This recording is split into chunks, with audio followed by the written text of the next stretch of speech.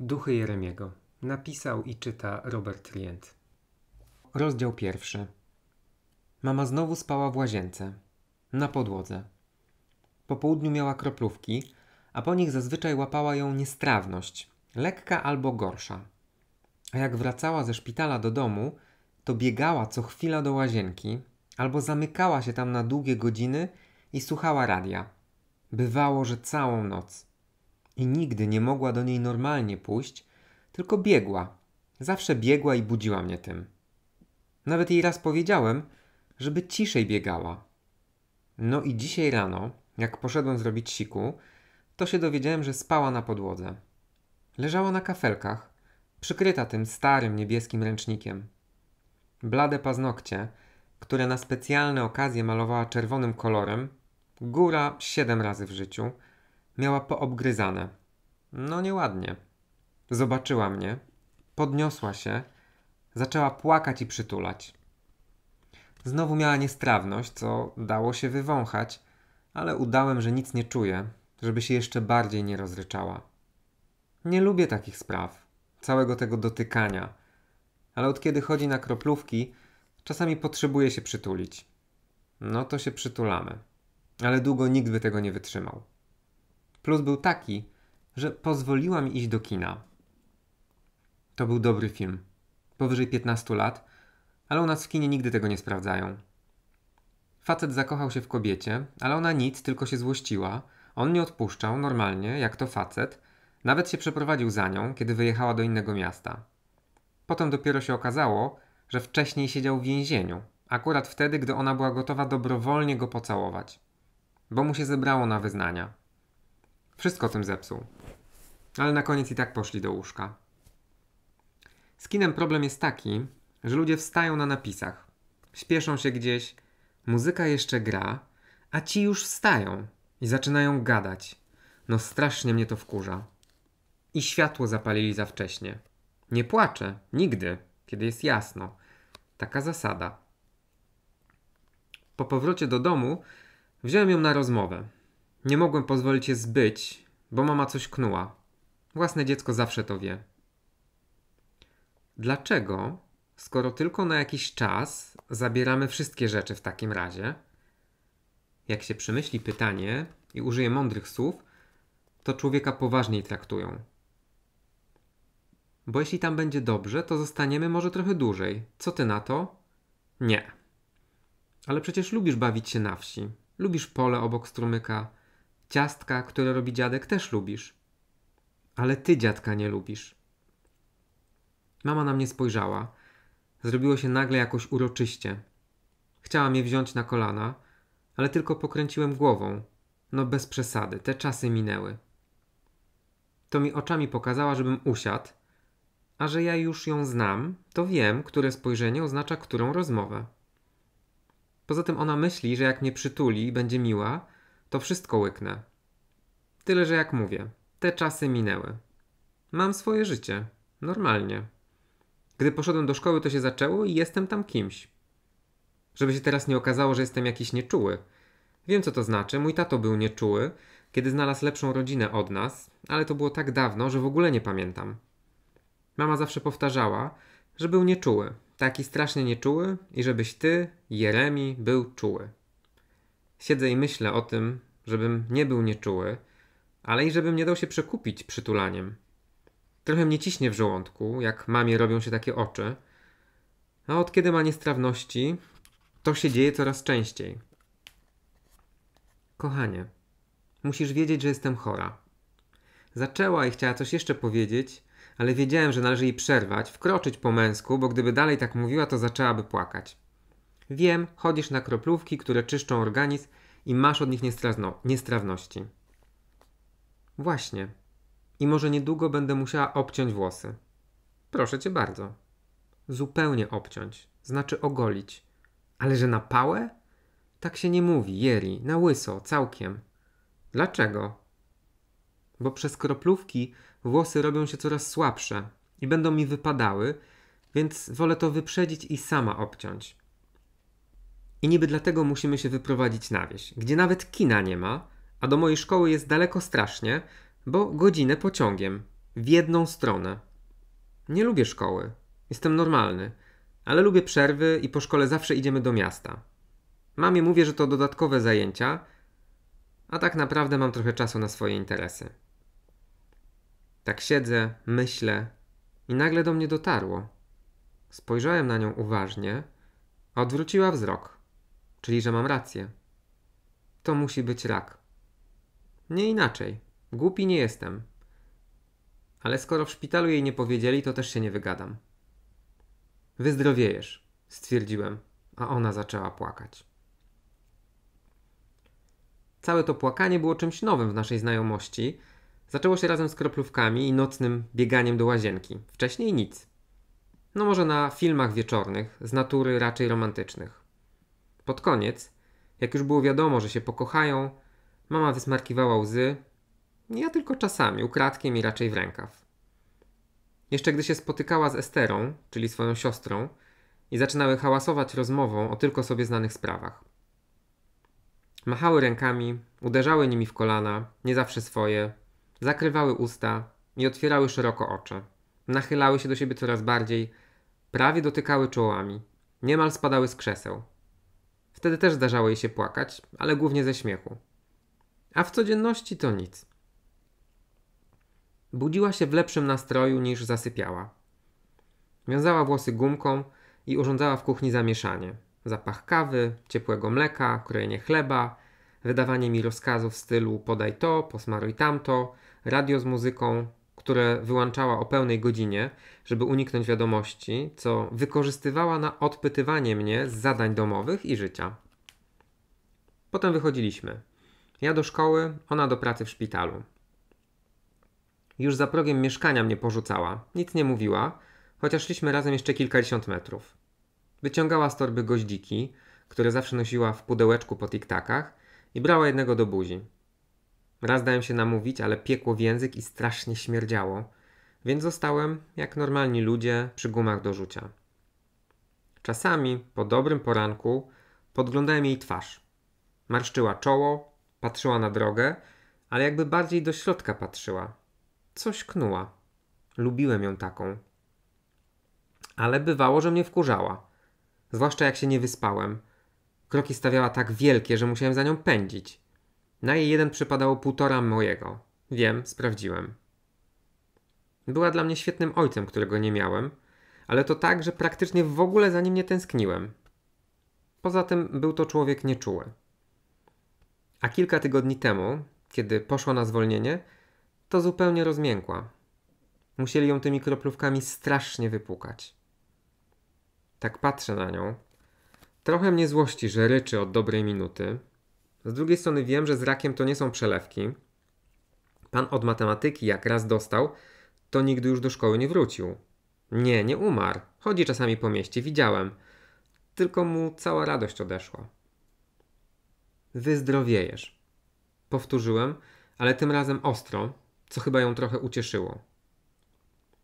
Właśnie, żeby wyzdrowieć, chcę, żebyśmy pomieszkali chwilę u dziadka, bo od kiedy przestałam chodzić do pracy, mamy coraz mniej pieniędzy i mogę coś skołować.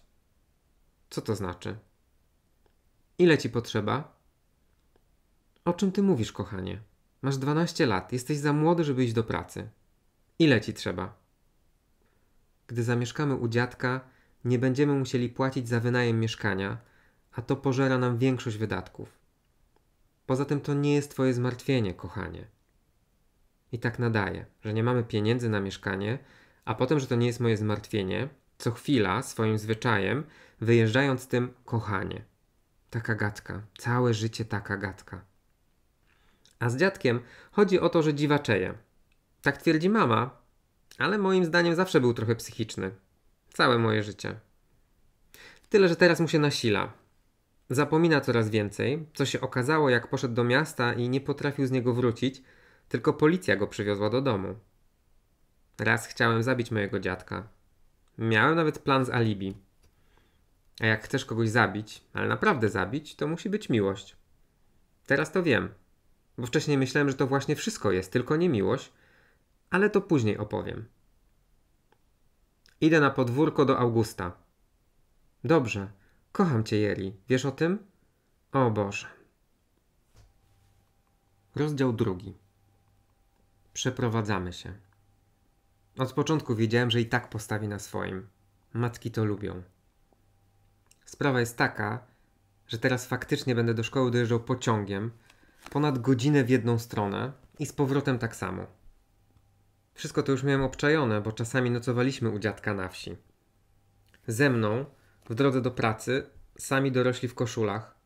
Rano pozapinani tacy, cali pod szyję i niezadowoleni.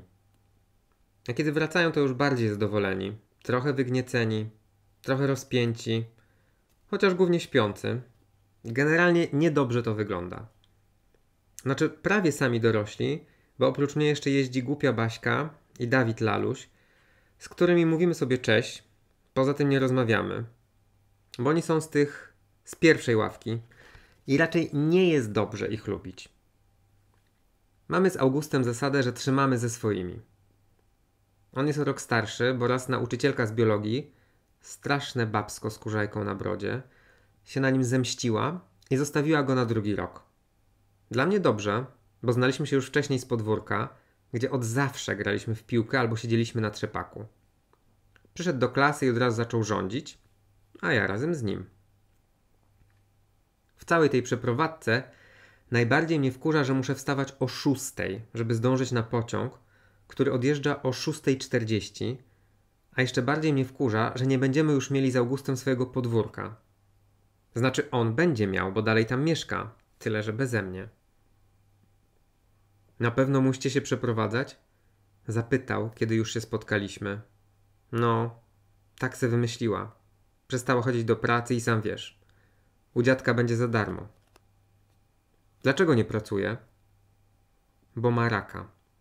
O stary, umrze? No co ty, to moja mama. Od tego się umiera. Jest pielęgniarką, ma wtyki w szpitalu, zresztą już jej dają kroplówki. Nie no, co ty? Poza tym Borys, ten od matematyki, nie umarł, nie? No nie. No widzisz, jakby się udało trochę kasy skołować, to byśmy zostali albo szybko wrócili. Pogadaj z Brachem. Co ty? On ze mną nie gada. A ze mną? No co ty? Siedzieliśmy na boisku i nic nie ustaliliśmy. Piłka przed nami, jakoś nie chciało się nikomu kopać. Z bratem Augusta jest tak, że robi w biznesie. Nigdy nas nie poważał, jak się mówi, bo już skończył zawodówkę i daje radę bez chodzenia do pracy. Jest kimś. Wiem, że robi w dragach od Augusta, bo ten potrafi rozpracowywać zamki i kiedyś wszedł do pokoju brata, wszystko sprawdził, znalazł pod biurkiem szufladę, a pod nią jeszcze jedną, ale mniejszą, i w niej było ziele, tabletki, proszki i pieniądze. Nic nie wziął, bo brat pewnie by go zabił, ale tak się tylko mówi, najwyżej by go porządnie obił. Chociaż z dealerami nigdy nic nie wiadomo. Tyle, że pieniądze z tego są solidne. I gdyby jakoś się wkręcić, to nie byłoby najgorzej. A czasu coraz mniej. Za tydzień mamy się przenieść. W końcu namówiłem Augusta, bo i jemu trochę hajsu by się przydało. Postanowiliśmy, że poczekamy na brata i jednak zaryzykujemy. Kupiliśmy dla niego paczkę papierosów, bo to wcale nie jest prawda, że młodym nie sprzedają. Po prostu nie wszyscy. Ale od tego czekania robiło się coraz gorzej, bo głupio, że wyjeżdżam i nie będzie Augusta. Głupio, że mama ma raka. Głupio, że nie mamy pieniędzy. I akurat ciężko gorszego człowieka od mojego dziadka, więc stwierdziłem, że zapalimy. Najwyżej dostanie prezent trochę rozpakowany. Smakowały parszywie, jak zawsze, ale z papierosem się zawsze lepiej wygląda niż bez. Spaliliśmy i nie bardzo było wiadomo, co dalej robić. August zaczął się wygłupiać i chciał, żebyśmy zagrali w piłkę, ale nie miałem wcale ochoty. Coraz bardziej mnie wszystko bolało, tam, w środku, więc wyciągnąłem jeszcze jednego papierosa. Stary, miał być po jednym. Niczym go nie kupimy, jak wszystko zjarasz. August chciał mi wyrwać papierosy z ręki. Przestań cały czas pieprzyć, że ona umrze. Wydarłem się na tyle głośno, że cofnął rękę. Przecież nic nie mówiłem, debilu. Tego było za dużo.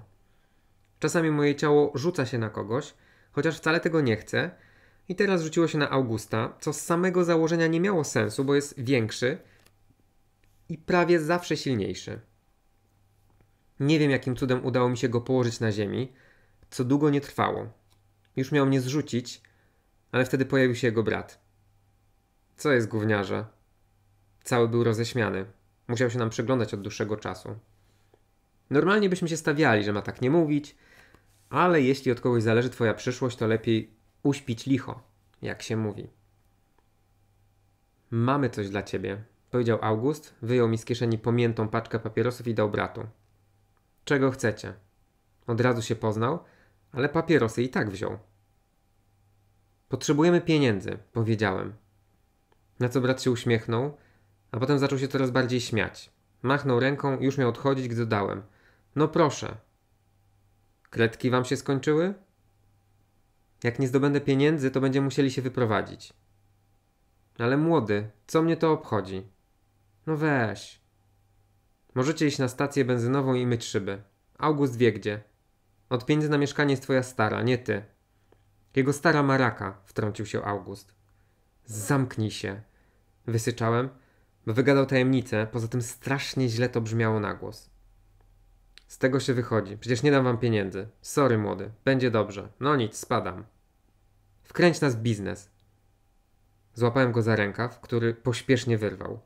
Chwycił Augusta za szyję, przycisnął do muru, zaczął dusić i uderzył z otwartej dłoni po twarzy tak ze cztery razy. W końcu go puścił, znaczy rzucił na ziemię i powiedział, że jeśli komukolwiek piśnie słówko, to go zabije, a wcześniej wygada ojcu, że August pali papierosy. A ja powiem, że dilujesz, krzyknął August, co było jednak o jeden most na rzece za daleko, jak się mówi, i wyprowadziło brata z równowagi. Skopał go solidnie. Nie tylko popchnął, kazał się wynosić i trzymać mordę na kłódkę, bo inaczej zabije. Poszedłem, oczywiście. Schowałem się za kamienicami, bo wiedziałem, że August tam przyjdzie. Jak było po wszystkim, usiedliśmy na murku. August miał czerwoną twarz, rozciętą wargę i trzymał się za brzuch. Wyciągnąłem z kieszeni ostatniego papierosa, co udało mi się go ukryć, i spaliśmy na pół, ale paliłem tak, żeby jemu stało więcej, bo jednak solidnie oberwał. Kompletnie nie wiedzieliśmy, co zrobić z życiem, a coś przecież można było. Nie chciało mi się wracać do domu, bo musiałbym pomagać mamie w pakowaniu i sprzątaniu. August mógł w sumie wracać kiedy chciał, bo miał fajnych rodziców. Na wszystko mu pozwalali. Poza tym miał jeszcze młodszego brata, któremu to przypadała większość uwagi rodziców i z którym żył w jednym pokoju. Poszliśmy na stację benzynową, gdzie akurat pracował Jarek, którego zbytnio nie poważaliśmy w szkole. Wzięliśmy go na bok, zapytaliśmy jak interes. Mówił, że dzisiaj dobrze, bo zarobił 13 zł. Tyle za całe popołudnie pracy, co jest jakąś kpiną, ale tego mu nie powiedziałem. Najwięcej wyciągnął prawie 70 zł, ale generalnie do 20 zł dziennie, chociaż zazwyczaj mniej. Jak się zorientował, że potrzebne są pieniądze, to się przestraszył, że chcemy go wygryźć z interesu i zaczął obniżać stawki. Sobie obliczyłem, że miesięcznie za taką charówę wyszłoby może 600 zł, czyli połowa kasy za wynajem mieszkania i mi się żyć odechciało, więc wróciłem do domu. Rozdział trzeci. Pani od polskiego kazała nam napisać o swoich dziadkach. Takie duże wypracowanie, którym można podnieść ocenę na koniec roku. Nic gorszego nie mogłem sobie wyobrazić. Po pierwsze, dlatego, że to oznacza rozmowę z dziadkiem, po drugie, dlatego, że to duże wypracowanie. Tato, gdy od nas odszedł, to razem z nim odeszli jego rodzice, moi dziadkowie. Znaczy, żyją tylko gdzieś bardzo daleko. Na każde święta wysyłają kartkę z życzeniami. Zawsze piszą to samo, że zdrowia, pomyślności i że Bóg się rodzi. Właśnie dlatego nie miałem czterech wyborów, jak większość w klasie, tylko jeden, to w sumie nie jest żadnym wyborem. Mieć jednego szurniętego dziadka. Mama nic mi nie chciała nim powiedzieć, bo uznała to za świetny sposób, żebyśmy się w końcu lepiej poznali. Kilka razy to powtórzyła. A gówno. Musiałem do niego pojechać i rozmawiać. Jeszcze mi trzy razy przypominała, żebym nie pytał o babcię Elzę, co dobrze wiem, że nie wolno z nim o niej rozmawiać, chociaż już jej dawno nie było, jak się pojawiłem. Stanisław Prochowicz, bo tak się nazywa, zgodził się i nawet zrobił ciastka, a lepszych faktycznie nie jada się nigdy. Z dziadka pamięcią jest coraz gorzej, przez starość podobno, ale moim zdaniem to dlatego, że za dużo zrobił złych rzeczy jego głowa jest teraz przeciążona. Dlatego bałem się, że nic z tego nie wyjdzie. Bo co też może mi ciekawego powiedzieć taki stary człowiek?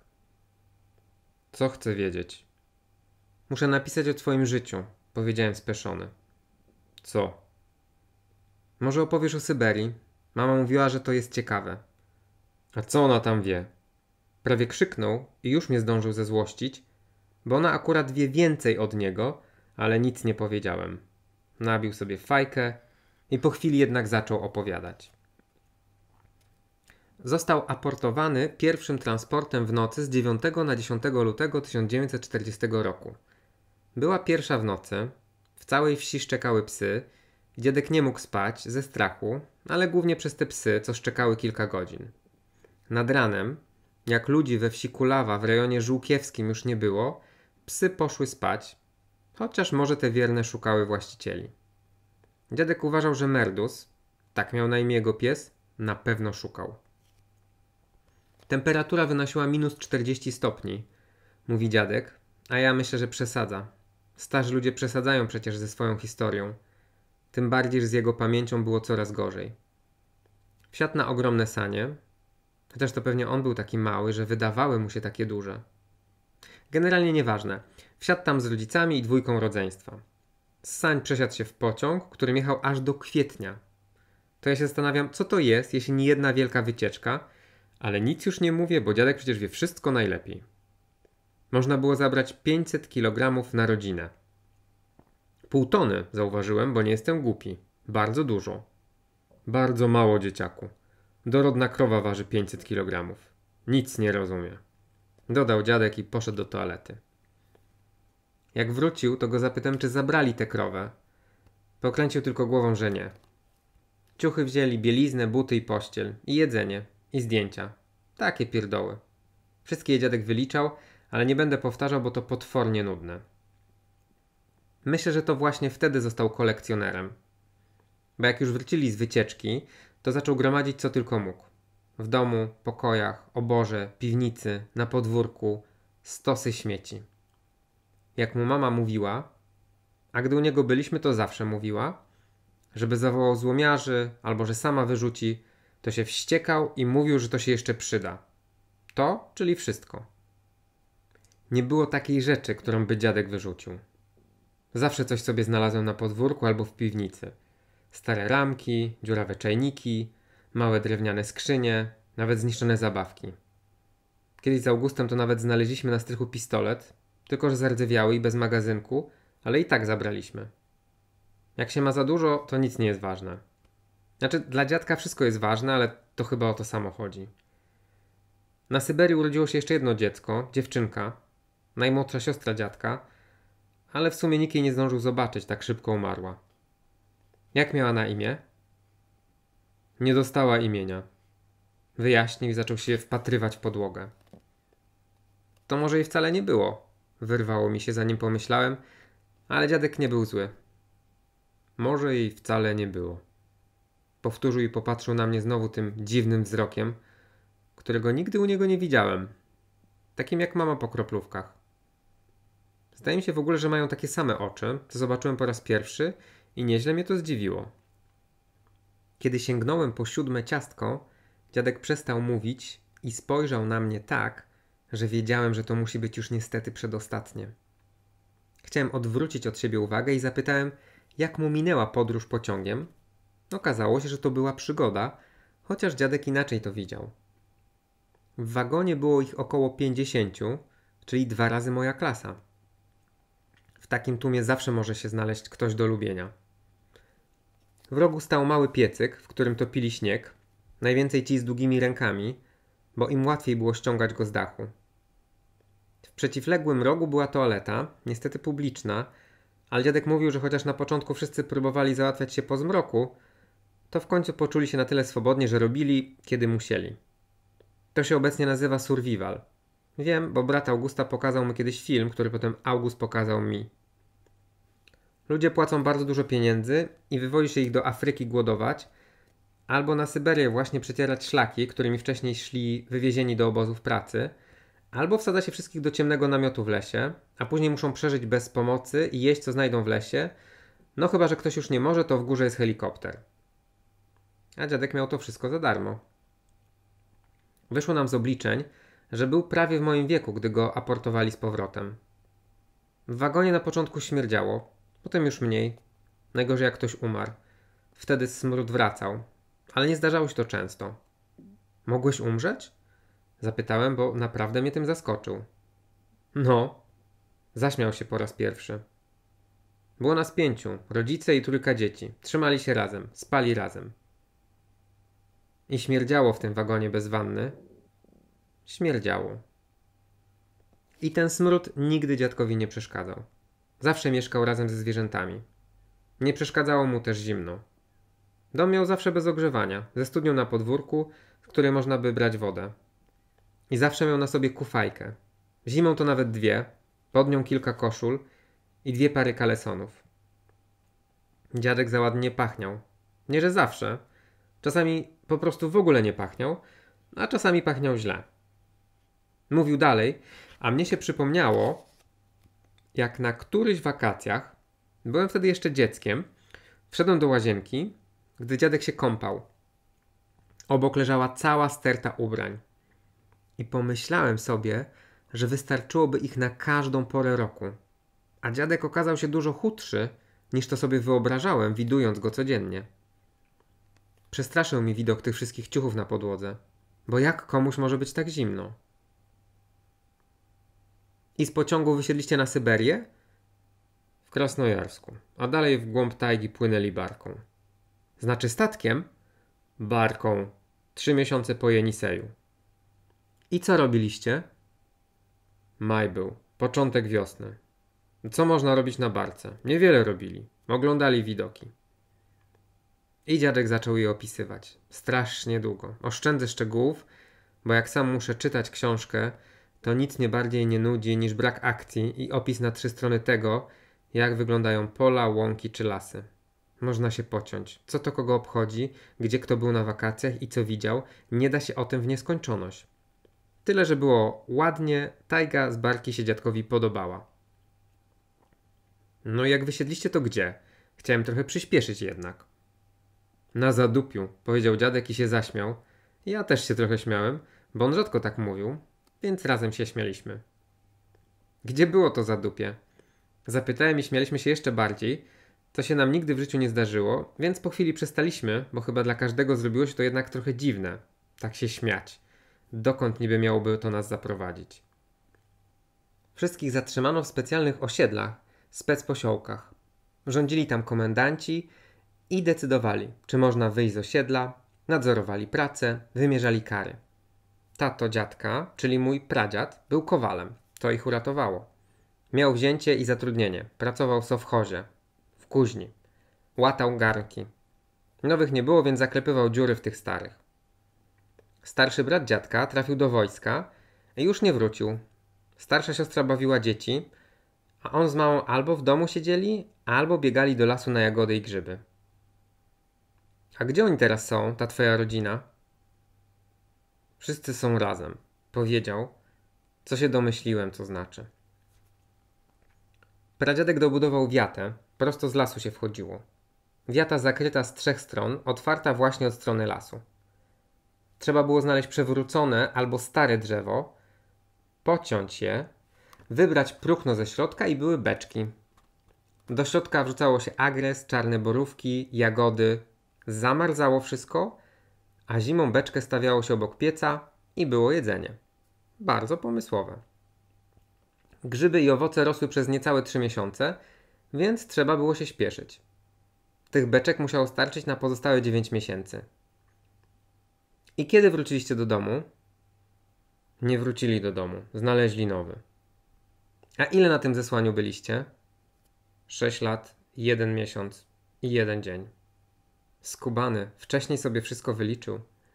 10 marca 1946 roku dziadek z rodziną został zapakowany do wagonu towarowego, który zawiózł ich na Ukrainę, w rejon zaporowski. A potem to już kursował po Polsce. A do szkoły nie musiałeś chodzić? Skończył 7 klas szkoły podstawowej.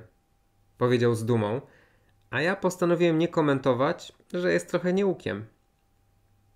Przeprowadzał się kilkanaście razy.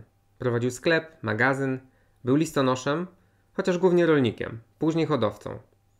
Ale myślę, że mój dziadek jednak wciąż jest Sybirakiem, takim stałym przesiedleńcem. To trochę dziwne, że wszystko z wtedy pamięta, ale już gdzie odłożył okulary, albo jaki jest dzień tygodnia, to nie zawsze. Dziadku, a po co ci te wszystkie rzeczy? Jakie rzeczy? Teraz to już prawie krzyczał. Te przedmioty, te blachy, stare rowery, to wszystko co masz w pokojach, piwnicy, na dworze. Nigdy nie wie, co się może przydać, nigdy nie wie. Ale tam są zepsute, może się przydać. Powiedział, że musi się położyć i żebym poszedł. Chociaż do pociągu miałem jeszcze dwie godziny. Ale co zrobić? Wychodziłem i słyszałem, że śpiewa po rusku. Zrozumiałem tylko wołga, wołga i nic więcej. Kiedy siedziałem na stacji, okazało się, że mam w plecaku reklamówkę pełną ciastek. Rozdział czwarty. Dzisiaj się przyprowadzamy, co wszystkich irytuje i nie mogę się bawić z Augustem. Nic zresztą nie mogę, tylko pomagać. Przyszła Estera, siostra mamy, którą czasami ciężko lubić, bo Bóg ją opętał. Nigdy nie wyszła za mąż i ma na mnie więcej pomysłów niż wszyscy, których znam. Przez prawie 20 lat żyła ze swoją przyjaciółką, nazywaną partnerką Magdą, z którą się jednak rozstała mniej więcej w połowie mojego życia, bo uczucia wygasły. Tak mi kiedyś powiedziała. Stara miłość zardzewiała. Estera jest tych uduchowionych. Do kościoła nie chodzi. Znaczy kiedyś chodziła, ale przestała i teraz w domu ma kolorowe flagi, które jak wiatr wieje, to przynoszą szczęście.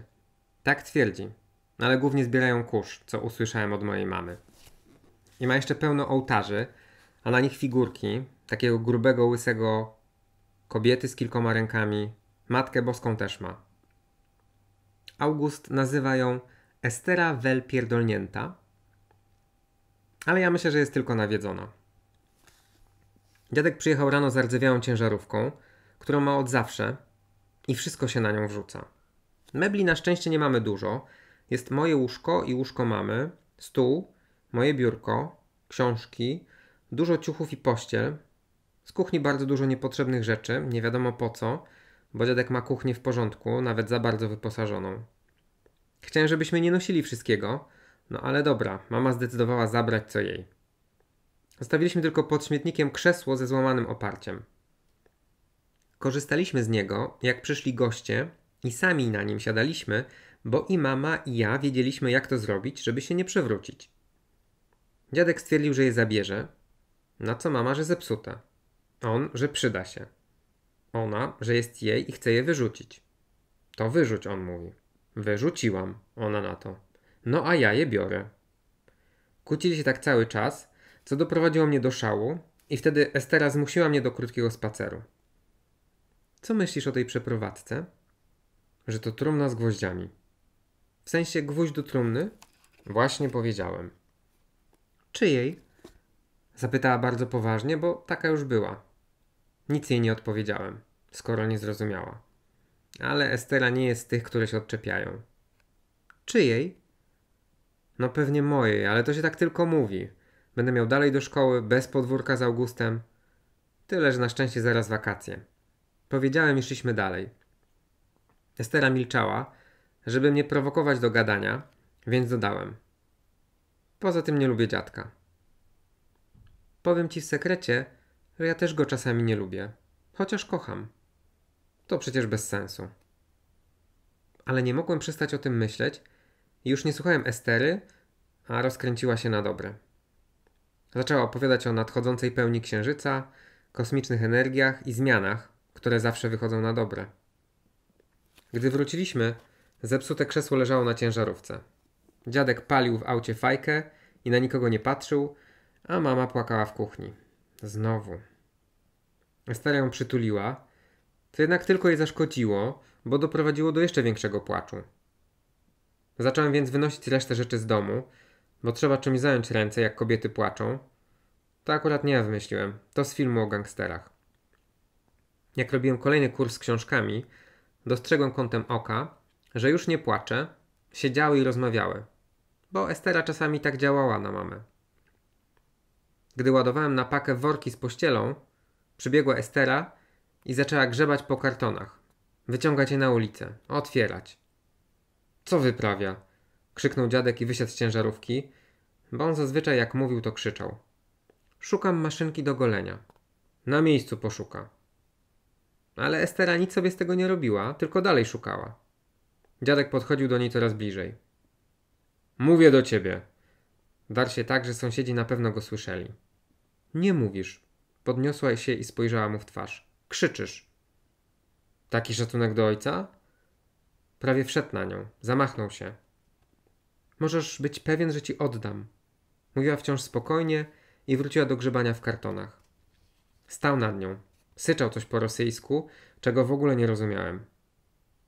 Ona chce zostawić w tym mieszkaniu swoje włosy, dodała Estera. Dziadek splunął i trzasnął drzwiami samochodu, tak że ptaki w całym mieście podrywały się do lotu. Poszedłem za Esterą do łazienki. Mama siedziała z ręcznikiem na plecach. Patrzyła w lustro. W siebie. Estera powiedziała, że to będzie dziwnie wyglądać i że mogę iść się pożegnać z Augustem. Zostałem. Z Augustem nie musimy się żegnać, bo akurat będziemy się przyjaźnić do końca życia, a do tego nie jest potrzebne wspólne podwórko, chociaż na pewno ułatwia te sprawy. Najpierw Estera umalowała mamie oczy, potem paznokcie, na czerwono. To był chyba ten siódmy raz w jej życiu, jeśli dobrze pamiętam. No już się w oczy tak nie rzucało, że są obgryzione. W końcu przyniosła coś w szeleszczącym opakowaniu. Mama powiedziała, że mogę wejść do łazienki, jeśli chcę, ale nie chciałem, bo miałem dobry widok z daleka. Zamiast mi dać spokój, cały czas na mnie reagowały. Ale wiedziałem, że lepiej nic nie mówić, bo się uniosą jedna z drugą i zaczną reagować jeszcze bardziej. W opakowaniu były cztery peruki, w tym jedna niebieska, co mamy rozbawiło do łez. Nie mogła przestać się śmiać, aż w końcu zaczęła kaszleć i pluć i płakać, ale tylko chwilę, bo perukę miała już na głowie Estera i tańczyła bosymi stopami na kafelkach.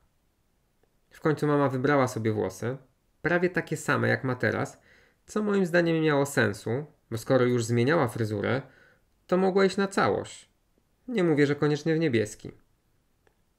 Estera najpierw obcięła mamie boki głowy i postawiła jej irokeza na żel, co znowu je bardzo rozbawiło, chociaż moim zdaniem było to trochę żałosne, ale cieszyłem się, że mama się śmieje. Ostatni fragment grzywki chciała sama zgolić, ale zaraz potem zaczęła płakać i Estera zamknęła mi drzwi przed nosem, więc wyszedłem na zewnątrz. Tak się mnie tutaj traktuje. Dziadek stał przed samochodem. Jak mnie zobaczył, to chciał coś powiedzieć, ale się rozmyślił. Poszedłem za kamienicę, na trzepak. Zadzwoniłem domofonem po Augusta, ale go nie było. Jakieś dzieciaki grały w gumę. Chłopak z dziewczyną, co mnie strasznie wkurwiło. Chciałem zobaczyć je z przyjacielem, a oni się głośno chichrali. Więc podszedłem do nich i powiedziałem, że plac jest zarezerwowany i jak nie chcą oberwać po gębie, to mają spierdalać. Chłopak powiedział, że mieszka w tej kamienicy i może tu grać, więc strzeliłem go solidnie w twarz. Dziewczyna zaczęła płakać i gdzieś pobiegli, co jednak tylko trochę poprawiło mi humor, więc zacząłem kopać ścianę kamienicy, aż przed jakiś duży chłopak i zapytał, czy to ja zarezerwowałem podwórko. Stali za nim ci od gumy. Więc to tak, pomyślałem. To ja. A co? A gówno, powiedział tamten i że mam nigdy więcej nie zaczepiać jego siostry, więc zaczęliśmy się bić, dopóki nie rozdzielił nas brat Augusta, bo się okazało, że on zna tu wszystkich. Gdyby nie przyszedł, pewnie dużo mocniej bym oberwał. Nieważna twarz, ale ten duży podarł mi bluzę. Będzie awantura w domu. Brat Augusta powiedział, że skoro jestem taki chojrak, to może coś będzie dla mnie miał i żebym przed za tydzień, ale jak pisnę choć słówko Augustowi, to nic z tego nie będzie. Zrozumiałem. Bluzę ściągnąłem, wytarłem się dokładnie i wróciłem pod mieszkanie. Wszystko było już spakowane. Dziadek siedział w aucie, a mama stała w plamie słońca, oparta o kamienicę. Na głowie miała zieloną chustę i patrzyła na pomalowane paznokcie, tak jak kiedyś patrzyła na mnie przed snem, gdy leżałem w łóżku. Już skończyła czytać bajkę. Mogłaby wyjść z pokoju. Nawet pocałowała mnie w czoło, ale musiała jeszcze spojrzeć. Tym samym wzrokiem patrzyła teraz na paznokcie. Potem zmrużyła oczy i wystawiła je do słońca. Nawet na jeden krok zwolniłem. Było w jej twarzy coś takiego, że człowiek chciał zwolnić. Co ci się stało? spytała. Czuć było od niej piernikiem, znaczy, że żyła goździka. Dostałem piłką, jak graliśmy z Augustem, ale nie boli. Dlaczego nie peruka? Bo mnie głowa swędzi. Odpowiedziała trochę za szybko, żebym jej uwierzył, więc chciałem sprawdzić, co w jej oczach, ale ona nie patrzyła w moje. Musisz bardziej uważać, jak gracie. Gdzie Estera? Siedzi w łazience już od 10 minut. Jak przyjdzie, to jedziemy. I w tym momencie z kamienicy wyszła Estera. Łysa. Rozdział piąty. U dziadka jest gorzej niż myślałem. Chodzi o to, że on ma trzy krowy. Trisze, tasze i tusze. I pole. Na nim hoduje przede wszystkim siano, z czym akurat mogłoby się wydawać, że nie ma wielkiego problemu, ale właśnie jest. Do tego jeszcze buraki cukrowe, ziemniaki i inne, mniejsze. Strasznie mnie to wkurwia, bo chociaż mama mówiła dziadkowi, że teraz wszystkie warzywa są w sklepie, on tylko prycha i wykrzykuje, że takiego smaku się nie kupi. A jak przychodzi co do czego, to nie potrafi niczego posolić, tylko je takie wybrakowane i twierdzi, że tak jest prawdziwie. Ale tak to już bywa z dziwakami. Wszystko na talerzu musimy sobie z mamą dosalać. Z sianem z kolei jest tak, że akurat teraz jest na nie pora i trzeba je wielokrotnie przewracać z jednej strony na drugą. A jak spadnie deszcz, to już w ogóle pozamiatane. Od razu się z dziadkiem zgodziliśmy, że mama nie będzie nic w polu robiła. Akurat trafił mi się weekend, sobie myślę. Stoję z grabiami i przewracam to durne siano. Moim zdaniem raz dziennie by wystarczyło, ale dziadek twierdzi, że im częściej się przewróci, tym szybciej wyschnie i za trzy dni już będzie można je zbierać. Na szczęście za trzy dni będzie poniedziałek i pójdę do szkoły. Wszedłem na internet i mu pokazałem, że normalni ludzie mają od tego maszyny z takimi długimi metalowymi prętami, które wszystko robią za człowieka, a nie grabiami, jak w jakimś średniowieczu. No co mi dziadek powiedział, że jak jestem taki mądry, to mogę mu taką maszynę kupić. I stoimy. Ja, on, pani Maria, o której jeszcze opowiem, bo to jest przyjaciółka dziadka, ale nie od wspólnego sypiania, tylko taka dochodząca. No i stoimy od rana i przewracamy. Mama w tym czasie odpoczywa w domu przy gotowaniu albo praniu czy sprzątaniu. Skóra od siana piecze, do nosa wpada pył i w ogóle nic gorszego w życiu nie mogłem robić. Durne muchy cały czas latają nad głową i siadają na twarzy. Do tego to bzyczenie. Można oszaleć, serio. Chodzę na pole dwa razy dziennie, nie więcej. Wiedziałem, że z tej przeprowadzki nic dobrego nie wyjdzie.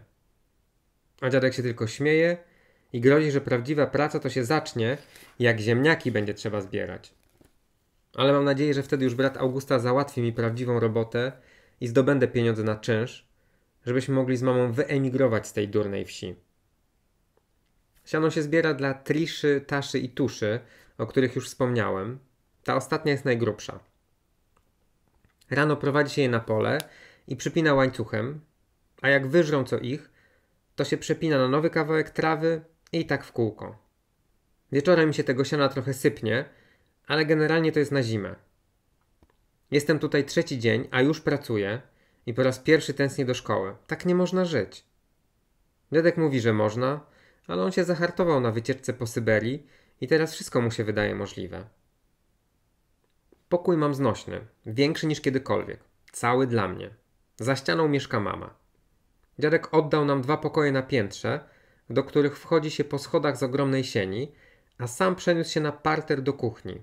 Znaczy sypia obok, w takiej małej komórce z telewizorem, ale jeżeli go gdzieś widzę, to zawsze albo na polu, albo w kuchni. Problem jest taki, że dziadek nie ma komputera. My z mamą mamy jeden, niby jej, ale tak naprawdę mój. Tylko, że tutaj, żeby wejść na internet, to trzeba jak ze starych czasów, przez telefon. A to kosztuje, więc nie ma, że tak jak lubię, gram sobie bez oporu. Jak wyzdrowieję, wrócimy do siebie, powiedziała mama. Dlatego ja cię proszę, pośpiesz się z tym. Wyznałem jej na lekkiej złości, bo mi jeszcze sianokosy nie wyszły z krwi, ale ona się na to bardzo ucieszyła. Wieczorem przyszła Estera i jak zawsze pachniała pieprzem. Przywiozła ciasto. Pierwszy normalny wieczór. Usiedliśmy w kuchni. Mama zrobiła kawę zbożową, pięciokrotnie przemienioną, taka specjalna chińska receptura. Trzeba różne składniki typu cukier, kawa, cynamon, goździki i śmierdzące brązowe zioła wrzucać w odpowiedniej kolejności do garnka z wodą. Widziałem, jak ukryła coś w dłoni i wpakowała sobie do ust, myśląc, że nikt jej nie widzi.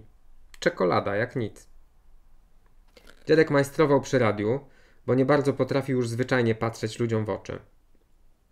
Estera rozmawiała szeptem z panią Marią, że nawet nic nie można było usłyszeć. Skąd pani zna dziadka? Zapytałem w końcu, bo nikt się mną nie interesował. A to nie ma nic do roboty? Odesłał się jak zawsze nietaktownie dziadek i to wcale nie było z jego strony pytanie. Zostaw go, włączyła się mama, ale i tak nigdzie bym nie poszedł, bo już poszedłem dzisiaj wiele razy. Znałam twoją babcię, wyjaśniła starsza pani. Na nic to wiedzieć. Dziadek znowu krzyczał. Wszyscy zaczęli na siebie jakoś tak nerwowo patrzeć. Nikt na mnie. Jak w cyrku. Coś tu się działo. Przecież to się zawsze czuje. Mama usiadła obok dziadka. Chciała go nawet złapać za rękę, ale on nie pozwolił. Tato, lepiej, żeby wiedział od rodziny. Za młody, stwierdził dziadek, ale w sposób cichy. Znałam twoją babcię, zaczęła jeszcze raz pani Maria. Poznałyśmy się w szkole, do której razem chodziłyśmy, w Lwowie. Tam też się urodziłyśmy. Byłam świadkiem na ślubie twojego dziadka i babci. Elza była z Lwowa? Zdziwiłem się. To ona nie była Polką? Była, kochanie. Uśmiechnęła się mama i dodała, że mnie tam zabierze i że kiedyś to była Polska. Ale nigdy mnie tam nie zabrała, co miało się okazać dopiero później. Dziadek machnął ręką, położył śrubokręt przy rozkręconym radiu i wyszedł z kuchni. Zostałem sam z tymi kobietami, jadłem ciasto, a one wszystkie patrzyły na mnie jak na kawałek nieba. A potem pani Maria podciągnęła ręka w koszuli i zapytała, czy wiem, co to jest. Tatuaż, powiedziałem, a ona zaczęła opowiadać. Babcia była pełna duchów i dlatego musiała umrzeć, bo już nie miała siły na ich głosy. Śmierć po nią przyszła w samym środku Warszawy 1943 roku, ale jej nie zastała, bo małą Elzę zabrała pod opieką jakaś obca polska rodzina. A wtedy swoją na zawsze straciła i do końca życia tego żałowała. Życia z obcymi żałowała, bo wolała śmierć ze swoimi. Chodzi o to, że ich wszystkich zmasakrowali. Znaczy rodzinę babci zabrali z Warszawy do obozów za drutem i już nigdy stamtąd nie wróciła. Tam, w środku Warszawy, jest teraz całkiem kultowe miejsce. Dobre knajpy mają. Ale kiedyś było getto. Taki obóz zagłady. Ewa, moja prababcia, szwaczka. Tomasz, mój pradziadek, nauczyciel matematyki. Estera, siostra babci, po której dostała imię moja uduchowiona ciotka. Ariel i Dawid, bracia babci. Wszystkich wywieźli na śmierć. Najmłodszej, Elzy, nigdzie nie zabrali. Dostała życie, które sama sobie odebrała, kiedy duchy nie dawały jej spokoju. Tak mówiła pani Maria. Cały czas o tych duchach. Ariel. Strasznie śmieszne imię. Trochę jak z bajki. Albo dla zwierzęcia. Ryby właśnie. Ale pani Maria powiedziała, że Ariel znaczy lew Boga. No tak, czułem, że zwierzęco. A pani była w tym getto? Byłam razem z twoją babcią i jej rodziną. No i pani wróciła. Stwierdziłem, bo nic nie rozumiałem tej całej rodziny, która nagle się pojawiła tylko po to, żeby okazało się, że wcale jej nie ma. Miałam szczęście. Tak chyba można powiedzieć, że miałam szczęście. Jak wyszłam z obozu, to wróciłam do Warszawy i tam po latach odnalazłyśmy się z Elzą. Ona też miała taki numer na ręce? Nie miała, ale lubiła dotykać mojego. Dlaczego ich zabili? Bo byli Żydami, powiedziała pani Maria, a mama ze sterą były gotowe zaraz się rozpłakać. Wiedziałaś o tym? dopytałem. Wiedziała. Wszyscy wiedzieliśmy, odezwała się za nią Estera. Chcieliśmy ci powiedzieć, jak będziesz trochę większy, żebyś zrozumiał. Mama, wiedziałaś o tym? Pokiwała głową, że tak, że wiedziała. No jasne. Ale za dużo nie rozumiałem. Przede wszystkim, dlaczego babcia się zabiła? Bo jak można było zazdrościć martwym, gdy samemu się żyło? I w ogóle, dlaczego ich tak transportowali na śmierć? Pamiętałem coś z historii, ale jednak nie bardzo się skupiałem na tych lekcjach. Tęskniła za rodziną, Jeri, powiedziała w końcu mama. Ale przecież miała nową rodzinę, ciebie i Esterę. O dziadku wolałem nie wspominać. Miała nas i bardzo kochała, wyjaśniła Estera. Nic nie rozumiałem. Co złego zrobili, że ich z Warszawy wywieźli? Nic złego nie zrobili i musisz to sobie zapamiętać, odpowiedziała pani Maria. Żydów zabijano dlatego, że byli Żydami. I taka rozmowa. Jeszcze długo mi o wszystkim opowiadały, ale to niewiele wyjaśniło, aż w końcu miałem już dosyć tej ich całej gadaniny. Musiałem sam o wszystkim pomyśleć. Poszedłem na spacer. Na pole. A tam dziadek nogi w strumyku moczył. Widziałem go z daleka. Siedział nieruchomo. Pewnie tęsknił za swoją Syberią, bo znowu nucił wołga, wołga. Nie chciało mi się z nim rozmawiać, więc wlazłem na drzewo. Ewa, Tomasz, Estera, Ariel, Dawid i Elza. Ich imiona wpadły mi do głowy i cały czas się powtarzały. Nagle zdałem sobie sprawę. Zszedłem szybko z drzewa i pobiegłem do domu. Siedziały tam wszystkie, a jak wszedłem, znowu popatrzyły na mnie tym wzrokiem pełnym przytulania. Która z was jest Żydem? Ty jesteś Żydem, stwierdziła pani Maria. Ja nie. Myślałem, że się wygłupia, ale patrzyła normalnie. Tak samo jak Elza, twoja babcia, tak samo jak jej rodzeństwo, tak samo jak ja, powiedziała mama. I moja siostra, czyli twoja ciotka Estera. O kurwa Boże. Nie mów tak, odezwała się mama. Ale miałem to w dupie. Otaczali mnie Żydzi, bo to się przenosi przez krew kobiet, a nie geografię. Wszystko mi wyjaśniły. Wciąż jestem Polakiem, ale równocześnie Żydem. Nigdy nie znałem żadnego Żyda, aż nagle się okazało, że od lat mam kilkoro pod nosem. W końcu wrócił dziadek i stanął w drzwiach z tępym wyrazem twarzy. Rozglądał się po wszystkich, jakby coś zgubił i zapytał mnie, kim jestem. Myślałem, że to jakiś durny żart. Powiedziałem, że nikim, a on patrzył dalej, zdziwiony. Mama mu wyjaśniła, że jestem jej synem, jego wnuczkiem i odprowadziła go do pokoju. Po prostu starość, dziwactwa mu się coraz bardziej narzucały. A jak szedłem spać, to jest teraz zażartowała, żebym nie narzekał, bo mogłem mieć na imię Abraham, albo Mojżesz, albo Uriasz. No, ale wtedy to już na pewno bym się zabił. Rozdział szósty. Czasami wszystko spada człowiekowi naraz. Za dnia staram się nie myśleć o tym, kim jestem i w ogóle, bo mam inne zmartwienia na głowie. Nikomu nie powiedziałem, że jestem Żydem, nawet Augustowi. Upewniłem się u mamy jeszcze, czy tata mój też był Żydem. Kiedy się okazało, że nie był, to pomyślałem, że może dlatego nas zostawił, mnie i mamę, i wybrał sobie nową rodzinę, bo jesteśmy Żydami. Ale to na szczęście nie tak. Po prostu zakochał się na nowo, bo był nieczuły. Niby nic się nie stało, przecież tak samo chodzę, patrzę i mówię, ale jednak myśli mi się trochę zmieniają. Bo skąd mam wiedzieć, że znowu po nas nie przyjdą? Nie da się wyjąć tej myśli, jak już raz weszła. Szczególnie wieczorem, gdy leżę i czekam aż zasnę, to nie mogę o niczym poza chorobą mamy i byciu Żydem myśleć. A wtedy oczywiście w ogóle nie zasypiam. Pani Maria dała mi jakieś książki i filmy, ale nie mam do nich głowy. Sianokosy się skończyły, więc mam trochę więcej luzu, no i zacząłem pracować. Naprawdę pracować. Brat Augusta dał mi na początek 10 gram, 10 porcji zielonego. Chciałem więcej, ale to i tak szło na kredyt, więc nie narzekałem. Rozprowadziłem w dwa dni, po znajomych w szkole, bo towar był pierwsza klasa. I zarobiłem. Od każdego woreczka prawie 4 zł i mogłem już kupić następne porcje. Nie noszę przy sobie, głupi nie jestem. Mam skrytkę u dziadka na piętrze. Jednego dnia umawiam komu i ile, a następnego dnia dostarczam. Najgorzej, że ciężko coś ukryć przed Augustem, więc jak nagle mogłem sobie kupić drożdżówkę i sok, i potem jeszcze paczkę fajek, to zaczął węszyć skąd niby mam. Odprowadził mnie na stację.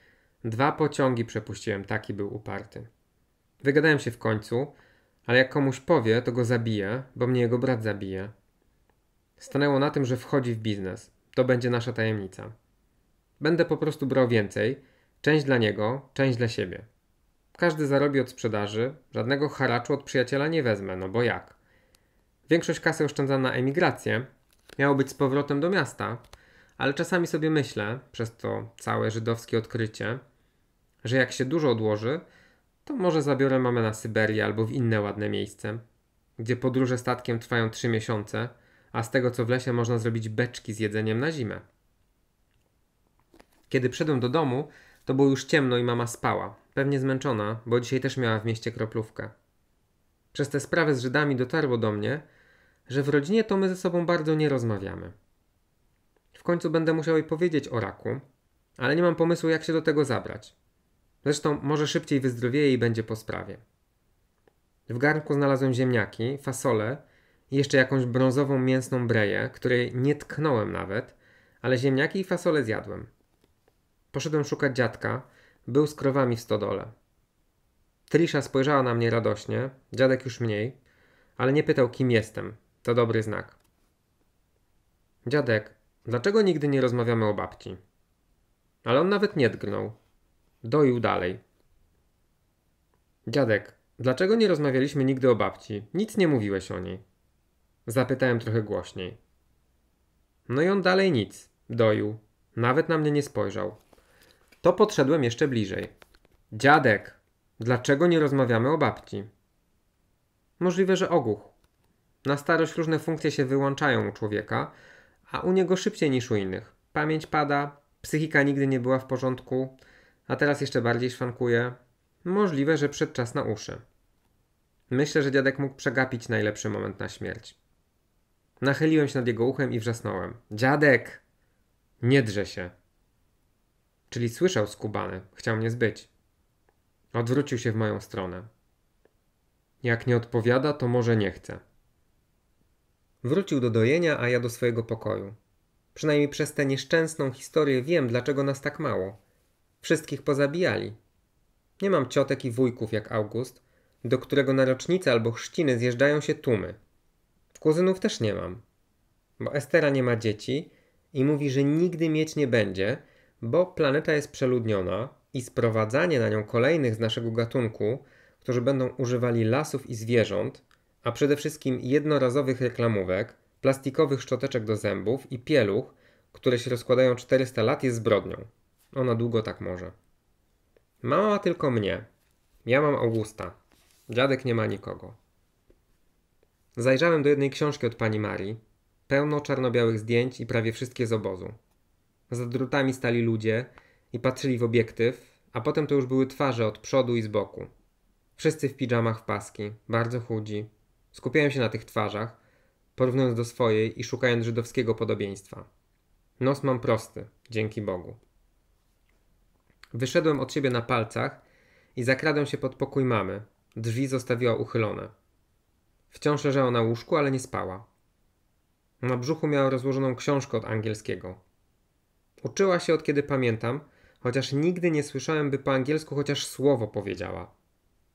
Obok łóżka, na starym gramofonie, stało pudełeczko z goździkami i kubek z czarną herbatą. Pewnie zostawiła sobie ostatni łyk. Nie wiem jak to robiła, ale zawsze miała w kubku ostatni łyk. Patrzyła się na sufit i obgryzała palce. Zdaje się, że skórki, nie paznokcie. Może lakier jej przeszkadzał. Zobaczyła mnie, od razu przestała i podciągnęła kolana przykryte kocem, żebym usiadł obok. Wchodź, jak się masz, kochany? No nie powiem, czasami lubiłem tej jej czułości. Dobrze, a ty? Faktycznie na dnie kubka czekał ostatni łyk. W porządku, tylko jestem zmęczona. Włosy ci odrastają? To jeszcze chwilę potrwa. To, czy jesteś Żydem, Polakiem czy Arabem, nie ma dla mnie żadnego znaczenia. Ale nie jestem Arabem. Nie jesteś. Chociaż kto wie, co się okaże za 10 lat. Już wolę jednak być Żydem, to się nie rzuca w oczy tak jak bycie Arabem. Do naszej szkoły chodzi jeden Arab i go przezywamy Bin Laden i pytamy czasami, czy nie mógłby samolotem wysadzić szkoły, ale on się na to wcale nie śmieje. Chociaż my mamy ubaw, czasami nawet z Augustem się bawimy w bombardowanie i prawie zawsze ktoś jest Bin Ladenem albo Husajnem. Każdy chce być, więc losujemy, bo Bin Laden albo Hussein zawsze wygrywa i wysadza tego drugiego, dobrego amerykańskiego szpiega. Popatrzyłem na mamę. Schudła na buzi. Zrobiły się takie małe jaskinie na policzkach. Poszedłem do kuchni usmażyć budyń, bo to była jedyna rzecz poza kanapkami i herbatą z cukrem, którą potrafiłem zrobić perfekcyjnie. No i lubiła. Do mleka wsypałem trochę marihuany. Wiem, że trzeba dłużej gotować, ale może jakoś zadziała. W telewizji mówili, że w Ameryce tym zrakiem sprzedają w aptece i jedna pani nawet robiła ciasto z marihuaną, a druga właśnie gotowała w mleku. No to może mamie też pomoże. Gotowałem na małym ogniu, potem wyjąłem ziele i budyń gotowy. To nie jest tak, że sam używam. Bardzo rzadko, głupi nie jestem. Wiem, że ci, co ćpają, to nie handlują, bo nikim nie ufa, nic nie zarabiają i kończą na bruku. Więc tylko jak jest okazja, a nie często mamy z Augustem okazję. Zaniosłem mamie budyń i usiadłem obok niej na łóżku, bo jakoś tak poważnie się zrobiło. Martwisz się czymś? Zapytała i dotknęła ręką mojej nogi. Jestem Żydem. Jak August się dowie, to będzie się śmiał. Poza tym, skoro zabili już raz, to może wrócą. Może wracają co jakiś czas na polowanie. Nigdy nie wiadomo. Dziadek coraz więcej zapomina. Nie mamy pieniędzy, by wrócić do siebie. Do tego jak siano odrośnie, znowu się zaczną durne sianokosy. Poza tym masz raka, kurwa mać. Ale nic z tego nie powiedziałem. Jeri, co się dzieje? Musisz wyzdrowieć, wiesz? Wiem, odpowiedziała i szybko zmieniła temat. Dziadek ma na dole różne płyty. Jak chcesz, możesz przynieść. Zobaczymy, czy adapter zadziała. No to poszedłem. Dziadek siedział na dole, wylizywał budyń z garnka. Cholera. Popatrzył na mnie tym swoim wzrokiem bez pamięci, więc ja postanowiłem patrzeć na niego, zobaczyć, co się stanie. I to nie była jego twarz. Nie był w tej chwili moim dziadkiem. Przez oczy takie niepewne i zmarszczki na czole, zupełnie inne niż zazwyczaj. Wyglądał jak ktoś do kochania, normalnie. Jestem twoim synem, nie poznajesz mnie? Zażartowałem. A on spojrzał jeszcze bardziej przerażony i ruszył do sieni. Poszedłem do jego komórki, ściągnąłem z regału płyty w kartonowych okładkach i zaniosłem je na górę. Mama drzemała. Ostatnio zdarzało jej się to coraz częściej i jeszcze jak się skaleczyła, to krew z niej wyciekała strasznie długo. Ale mówiło mi, że tak ma być, bo kroplówki wypukują z niej krzepnięcie. Przeglądałem okładki płyt. Nic co bym znał. Wszystko stare. Szlaczki żydowskie albo inne, niezrozumiałe, chyba ruskie. Puść coś, nagle wyszeptała. Nie znam nic z tego. To wybierz najładniejszą okładkę. Nie chciałem jej mówić, że nie było tutaj najładniejszej okładki, ale trudno. Wybrałem tę z panem w okularach, bo pomyślałem, że tak mógłby wyglądać mój tato i bym się go bardzo nie wstydził. Pan nazywał się Dmitri i miał to być walc. No i dobra, puściłem. Patrzę na mamę, jak leży i się uśmiecha, a po policzkach płyną jej łzy. To wyłączyłem. Och nie, to jest piękne, pamiętam z dzieciństwa. Zostaw. To włączyłem. Myślałem, że będzie jak walc do tańczenia, a to się okazało jakieś smutne biadolenie i pobrzękiwanie, czym tylko się da. To żydowskie? Zapytałem coraz bardziej wkurwiony, bo gdyby pamiętała z dzieciństwa i byłoby to dobre, to by nie ryczała. Żydowskie. No właśnie. Co jeli? Smutne kurwa. Nie mów tak. Że smutne? Wiesz o co mi chodzi. Wiedziałem, ale gdyby nie była chora, już dawno bym poszedł i jebnął wszystkimi otwartymi drzwiami. Przepraszam, że nie powiedziałam ci wcześniej. Dlaczego? Obiecałam mamie i tacie, że nigdy nie będziemy o tym rozmawiać. Oni całe życie się bali. Czego? I zaczęła kaszleć, ale nie miałem zamiaru odpuścić. Podałem jeszcze budyniu i czekałem, aż zacznie mówić. Długo czekałem, bo jak się wykaszlała, chciała mnie zbyć zamkniętymi oczami. Potem trochę sapała, niby że śpi, ale swoje wiedziałem. W końcu otworzyła jedno oko, pewnie z nadzieją, że już sobie poszedłem. A że czekałem, to zaczęła mówić. O swoje życie się bali, tak myślę. I znowu zamilkła na dłuższą chwilę. Sama dowiedziałam się, kiedy już byłam dorosła. Długo nie mogłam się z tym wszystkim pogodzić, ale to były inne czasy. Chciałam ci tego oszczędzić. Inaczej niż Estera, ona zawsze była dumna. Pewnie o, lepiej o tym wszystkim by opowiedziała. Porozmawiaj z nią kiedyś, co? Nie, wolę to wiedzieć od ciebie. Co chcesz wiedzieć? Dlaczego babcia się zabiła? Tęskniła za rodziną. Wszystkich straciła. A w końcu zachorowała. Na głowę? Miała o mamę. Wydawało jej się, że wołają ją duchy. Pod koniec życia, gdy przychodził listonosz albo goście, chowała się w piwnicy i czekała, aż wszyscy pójdą. Nikomu nie ufała. W końcu przestała ufać również nam. Jedyną osobą, z którą normalnie rozmawiała, był dziadek. A swoją drogą ona była jedyną osobą, na którą on nie krzyczał. Skąd wiesz, że wszystko się nie powtórzy, że po nas nie przyjdą? Bo wiem, bo piorun nie trafia dwa razy w to samo miejsce. Nie chciałem jej mówić, ale widziałem jakiś czas temu w telewizji film o młodym chłopaku z Anglii, którego piorun trafił dwa razy. A później oglądaliśmy stare zdjęcia z czasów, gdy byłem naprawdę mały i mama opowiadała różne historie. Dziadkowie poznali się w Warszawie. Ponoć bardzo mało ze sobą rozmawiali, ale za to co chwila mierzyli się wzrokiem. Dzięki temu we wszystkim się rozumieli. Jedno i drugie było w końcu deportowane. Wiem, że mówi się deportowane, a nie aportowane. Wcześniej też wiedziałem, tyle że niezupełnie. No więc byli deportowani tam, gdzie nie chcieli. Chociaż babcie wykradli z jej losu, a to się zawsze źle kończy. Poszedłem w końcu spać. I zastanawiałem się, czy duchy umarły razem z babcią. I doszedłem do wniosku, że to niemożliwe.